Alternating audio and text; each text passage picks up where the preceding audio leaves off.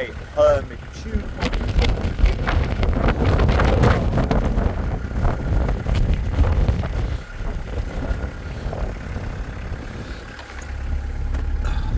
Right.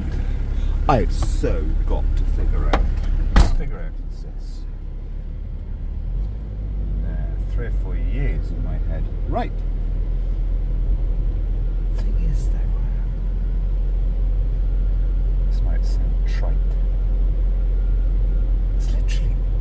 All the van type of people disappeared the last few months. I'm not talking about like Cornish cowboys and cowgirls. It's like literally the soul out of even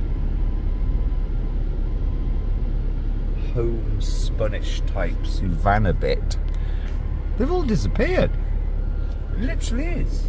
It's like I'm the only one left. Below Helston, there's one guy who's been around all like about nine months, six or seven months.